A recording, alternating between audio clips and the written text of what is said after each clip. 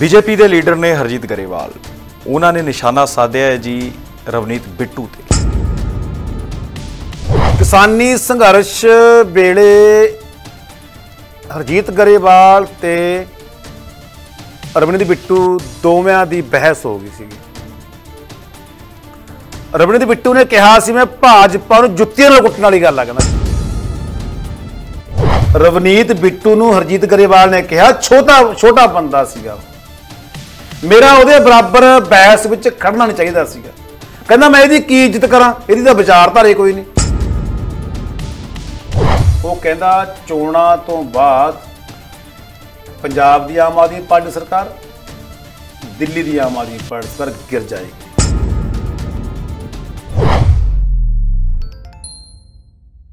BJP ਦੇ leader ਨੇ ਹਰਜੀਤ ਗਰੇਵਾਲ। ਉਹਨਾਂ ਨੇ ਨਿਸ਼ਾਨਾ ਸਾਧਿਆ ਹੈ ਜੀ ਰਵਨੀਤ ਬਿੱਟੂ ਤੇ।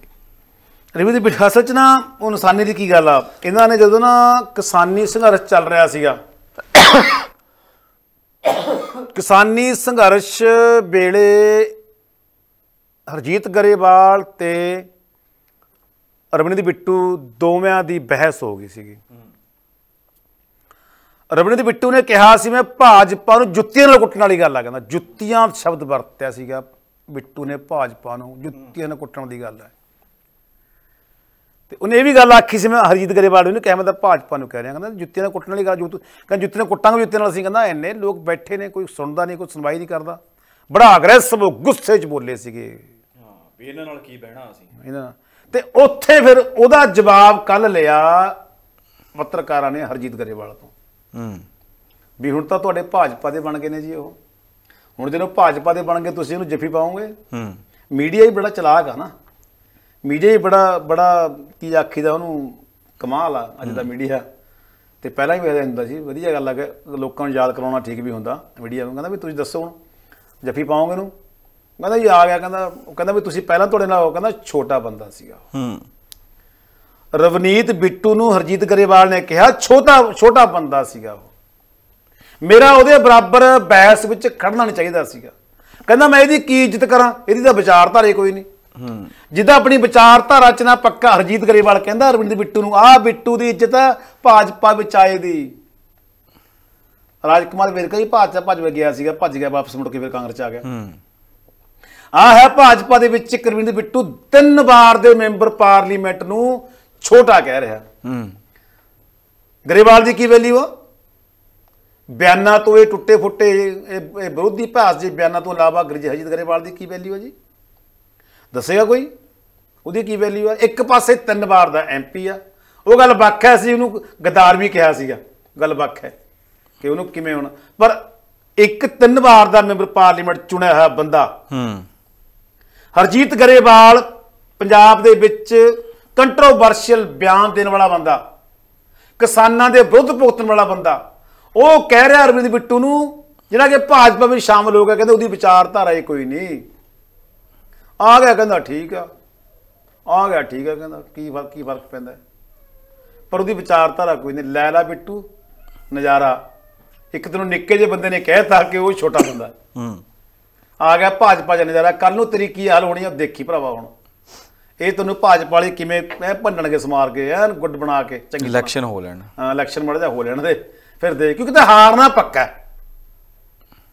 ਮੈਂ ਇੱਕ ਜਰਨਲਿਸਟ ਜਰਨਲਿਸਟ ਹੋਣ ਦੇ ਨਾਤੇ ਐਨਾਲਿਸਿਸ ਕਰ ਰਿਹਾ ਤੁਹਾਡੇ ਕੋਲੇ, ਕਿਉਂਕਿ ਜੋ ਰਿਪੋਰਟਾਂ ਮਿਲਦੀਆਂ ਨੇ ਲੁਧਿਆਣੇ ਤੋਂ, ਉਹਦੇ ਮੁਤਾਬਕ ਤੁਹਾਡੀ ਹਾਰ ਪੱਕੀ ਆ। 96 ਵਿੱਚ ਵੀ ਖੜੀ ਸੀ ਭਾਜਪਾ ਇੱਥੇ ਲੁਧਿਆਣੇ ਤੋਂ। 96 ਦੀ ਗੱਲ ਆ ਮੇਰੇ ਖਿਆਲ 'ਚ 90 96 ਦੀ ਗੱਲ ਆ। ਬੁਰੀ ਤਰ੍ਹਾਂ ਹਾਰੀ ਸੀਗੀ। ਉਸ ਤੋਂ ਬਾਅਦ ਸ਼੍ਰੋਮਣੀ ਅਕਾਲੀ ਦਲ ਨਾਲ ਸਮਝੌਤਾ ਹੋ ਗਿਆ ਸੀਗਾ। ਬੁਰੀ ਤਰ੍ਹਾਂ ਹਾਰੀ ਸੀ ਭਾਜਪਾ ਉੱਥੇ। ਤੇ ਹੁਣ ਹਾਲਾਤ ਤੁਸੀਂ ਕਹਿੰਦੇ ਹੋ ਪ੍ਰਵਾਸੀ ਮਜ਼ਦੂਰ ਵੱਧ ਗਿਆ ਉੱਥੇ ਨਹੀਂ ਨਹੀਂ ਪ੍ਰਵਾਸੀ ਮਜ਼ਦੂਰ ਤਾਂ ਸਾਂਝੇ ਨੇ ਆਉਣਗੇ ਬੈਂ ਸੁਣੀ ਵੀ ਸਾਹਮਣੇ ਤੁਹਾਡੇ ਆਉਣਗੇ। ਉੱਥੇ ਦਾ ਪੰਜ ਕੁਣਾ ਮੁਕਾਬਲਾ ਹੋਣਾ ਹੈ ਲੁਧਿਆਣੇ ਵਿੱਚ ਤਾਂ। ਬਾਕੀ ਤਾਂ ਚਾਰ ਕੁਣਾ ਹੋਊਗਾ ਪੰਜਾਬ ਵਿੱਚ ਤਾਂ। ਚਾਰ ਕੁਣਾ ਕਿਹੜਾ ਪਤਾ ਸ਼੍ਰੋਮਣੀ ਅਕਾਲੀ ਦਲ ਭਾਰਤੀ ਜਨਤਾ ਪਾਰਟੀ ਆਮ ਆਦਮੀ ਪਾਰਟੀ ਤੇ ਕਾਂਗਰਸ। ਚਾਰ ਕੁਣਾ ਮੁਕਾਬਲਾ ਪਹਿਲੀ ਵਾਰੀ ਹੋਣ ਜਾ ਰਿਹਾ ਪੰਜਾਬ ਦੇ ਵਿੱਚ। ਪਰ ਲੁਧਿਆਣੇ ਵਿੱਚ ਪੰਜ ਕੁਣਾ ਮੁਕਾਬਲਾ ਹੋਏਗਾ।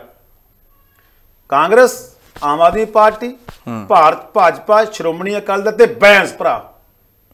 ਕਿਉਂਕਿ ਬੈਂਸਾਂ ਦਾ ਵੀ ਉੱਥੇ ਬਹੁਤ ਵੱਡਾ ਯੋਗਦਾਨ ਹੈ ਰੋਲ ਹੈ ਬਹੁਤ ਵੱਡਾ। ਉੱਥੇ ਪੰਜ ਗੁਣਾ ਮੁਕਾਬਲਾ ਹੋਏਗਾ। ਕਿ ਪਿੰਡਰ ਸਾਹਿਬ?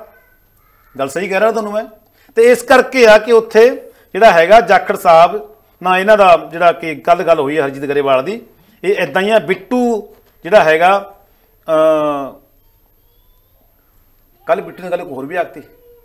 ਹੂੰ। ਉਹ ਕਹਿੰਦਾ ਚੋਣਾਂ ਤੋਂ ਬਾਅਦ ਪੰਜਾਬ ਦੀ ਆਮ ਆਦਮੀ ਪਾਰਟੀ ਸਰਕਾਰ ਦਿੱਲੀ ਦੀ ਆਮ ਆਦਮੀ ਪਾਰਟੀ ਸਰਕਾਰ ਗਿਰ ਜਾਏਗੀ ਟੁੱਟ ਜਾਏਗੀ। ਹੁਣ ਹੁਣ ਸੁਪਨਾ ਆ ਗਿਆ ਬਿੱਟੂ ਨੂੰ। ਇੱਕ ਲੋਕਤੰਤਰ ਕਦਰਾਂ ਕੀਮਤਾਂ ਅਨੁਸਾਰ ਬਣੀ ਹੋਈ ਸਰਕਾਰ ਨੂੰ ਤੋੜ ਰਹੇ ਨੇ ਜਨਾਬ ਬਿੱਟੂ ਜੀ। ਇੱਕ ਲੋਕਤੰਤਰ ਦੇ ਕਦਰਾਂ ਕੀਮਤਾਂ ਅਨੁਸਾਰ ਤੁਸੀਂ ਇੱਕ ਐਮਐਲਏ ਗੁਰਾੜ ਨੂੰ ਲਿਜਾ ਕੇ ਬੜੇ ਖੁਸ਼ੀ ਹੋ ਗਏ ਕਹਿੰਦੇ ਜੀ ਵੀ ਅਸੀਂ ਬਹੁਤ ਖੁਸ਼ੀ ਹਾਂ।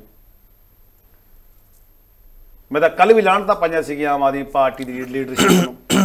ਵੀ ਤੁਸੀਂ ਜਿਹੜੇ ਦੂਜੀਆਂ ਪਾਰਟੀ ਦੇ ਕੱਢੇ ਵੱਡੇ ਇਨਸਾਨਾਂ ਨੂੰ ਟਿਕਟਾਂ ਦੇ ਦਿੰਦੇ ਹੋ ਤੁਸੀਂ ਕੋਈ ਬਹੁਤ ਸਹੀ ਮੰਨਦੇ ਹੋ। ਹੁਣ ਕਿਹੜਾ ਤੁਸੀਂ ਘੱਟ ਹੋ? ਹੁਣ ਵੀ ਤੁਸੀਂ ਉਸ- ਉਸੇ ਲਾਈਨ ਤੇ ਲੱਗੇ ਹੋਏ ਹੋ। ਨਿਡਰ ਹਾਂ ਨਿਰਪੱਖ ਰਹਾਂਗੇ। ਆਜ਼ਾਦ ਹਾਂ ਸੱਚ ਕਹਾਂਗੇ। ਗੱਲ ਕਰਾਂਗੇ ਸਿਆਸੀ ਹਵਾ ਦੀ।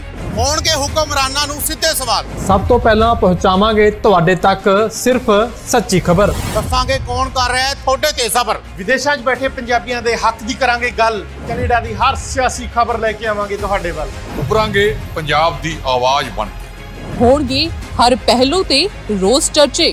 ਖੋਲਾਂਗੇ ਅੰਦਰੂਨੀ ਰਾਜ। ਬਣਾਂਗੇ ਬੁਲੰਦ ਆਵਾਜ਼। ਖੇਡ ਸਿੱਖਿਆ ਸਿਹਤ ਖੇਤੀ ਦੀ ਬਾਤ ਪਾਵਾਂਗੇ। ਹਰ ਪਿੰਡ ਹਰ ਸ਼ਹਿਰ ਜਾਵਾਂਗੇ ਮਨੋਰੰਜਨ ਨਾਲ ਜੁੜੇ ਕਲਾਕਾਰਾਂ ਨਾਲ ਕਰਵਾਵਾਂਗੇ ਮੁਲਾਕਾਤ ਸੰਘਰਸ਼ਾਂ ਵਾਲੀ ਜ਼ਿੰਦਗੀ ਤੇ ਮਾਰਾਂਗੇ ਝਾਤ ਕੀ ਨੇ ਸਾਡੇ ਕਾਨੂੰਨ ਫਰਜ਼ ਤੇ ਅਧਿਕਾਰ ਕੀ ਕਰਦੀ ਹੈ ਸਾਡੀ ਸਰਕਾਰ ਕੀ ਹੈ ਤੁਹਾਡੀ ਮੁਸ਼ਕਲ ਦਾ ਹੱਲ D5 ਚੈਨਲ ਪੰਜਾਬੀ ਦੀ ਕਚਹਿਰੀ 'ਚ ਹੋਵੇਗੀ ਸਿਰਫ ਲੋਕਾਂ ਦੀ ਗੱਲ धर्म धरोहर सेहत और संस्कृति की होगी बात ਅਬ D5 ਚੈਨਲ ਹਿੰਦੀ ਵੀ ਹੋਗਾ ਸਰ D5 ਚੈਨਲ ਪੰਜਾਬੀ ਆਪਣੀ ਧਰਤੀ ਆਪਣੇ ਲੋਕ। ਸਤਿ ਸ਼੍ਰੀ ਅਕਾਲ ਜੀ, ਮੈਂ ਹਾਂ ਕੁਲਰਾਜ ਰੰਦਾਵਾ ਤੇ ਤੁਸੀਂ ਵੇਖ ਰਹੇ ਹੋ D5 ਚੈਨਲ ਪੰਜਾਬੀ, ਜਿਹੜਾ ਲਾਂਚ ਹੋ ਚੁੱਕਾ ਹੈ ਹੁਣ ਕੈਨੇਡਾ ਵਿੱਚ।